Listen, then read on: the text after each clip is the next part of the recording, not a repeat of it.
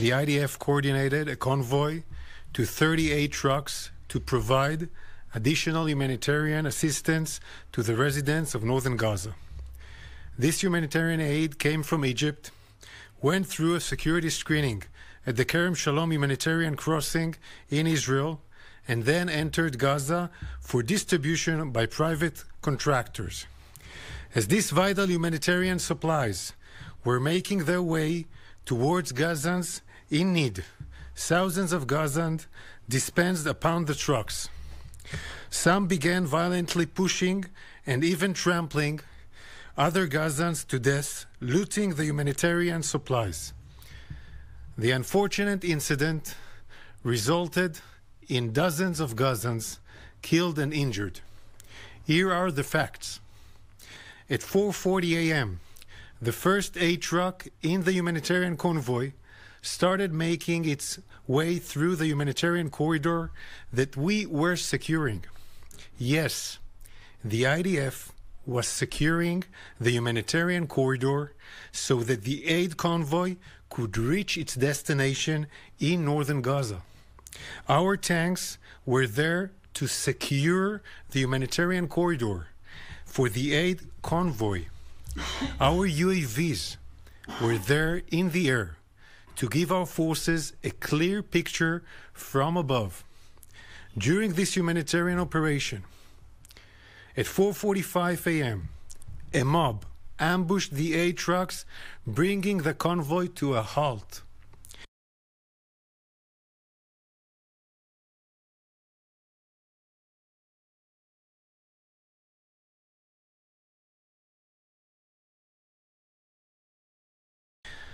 As you can see in this video, the tanks that were there to secure the convoy sees the Gazans being trampled and cautiously tries to disperse the mob with a few warning shots. When the hundreds became thousands and things got out, out of hand, the tank commander decided to retreat to avoid harm to the thousands of Gazans that were there. Here you can see how cautious they were when they were backing up. I think, as a military man, they were backing up securely, risking their own life, not shooting at the mob.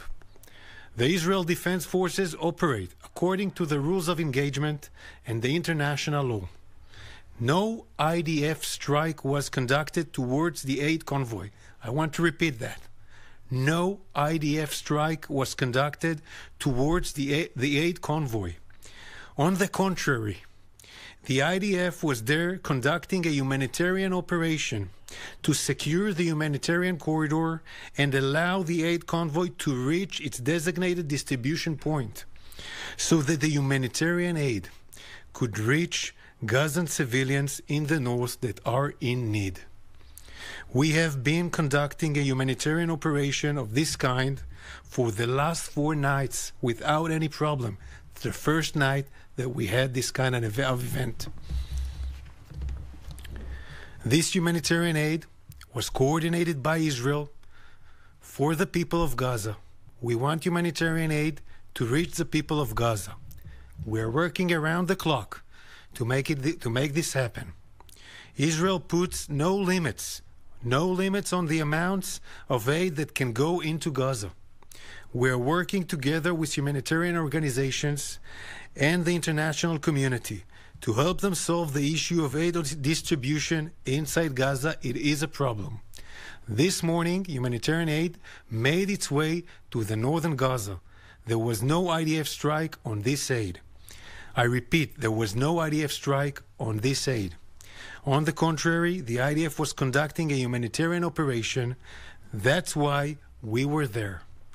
Because our war is against Hamas, not against the people of Gaza. We are in a war that we did not start, we did not seek.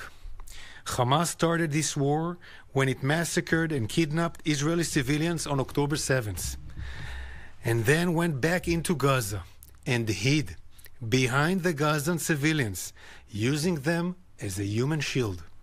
We recognize the suffering of the innocent people of Gaza.